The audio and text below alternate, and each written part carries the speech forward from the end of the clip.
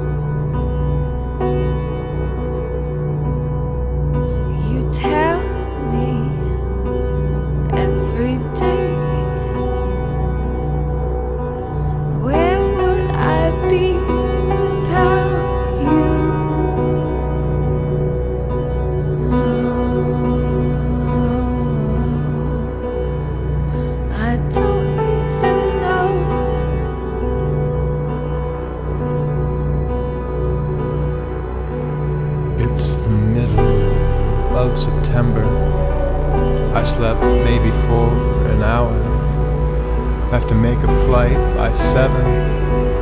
I'll be gone just for the weekend. For two shows outside of Philly that will pay my rent completely. I feel kinda sick, like always. I'm not ready. There's still shards in the kitchen from the glass jar that I broke when I poured in boiling water. I was less shocked by the shadow than that I never saw it coming. Ethan said when we were younger, that weird summer in Columbus, things are written so big that you can't even see them. We are driving to the airport, fighting about something.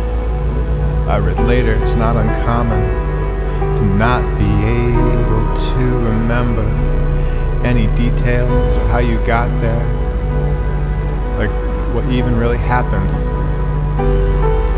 Never really even mattered.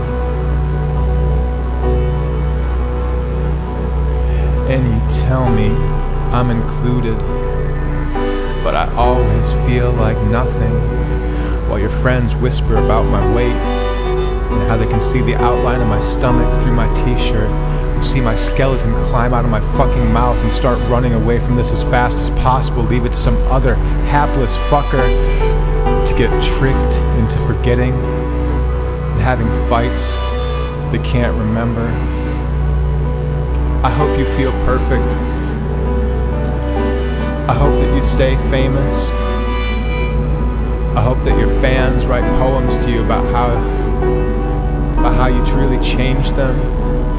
And I hope they squeal and preen and tell you how you're so amazing that they can't even process it. I hope that no one ever knows you. on some broken, rainy morning before the sun clears through the clouds. In a sky that is eternally apologizing, walk alone down to the banks of the rising river, and with your hands in the sand, dig a small patch of ground and lie there, repeating, I was wrong, until either you feel better or the slow waves overtake you neither one will happen.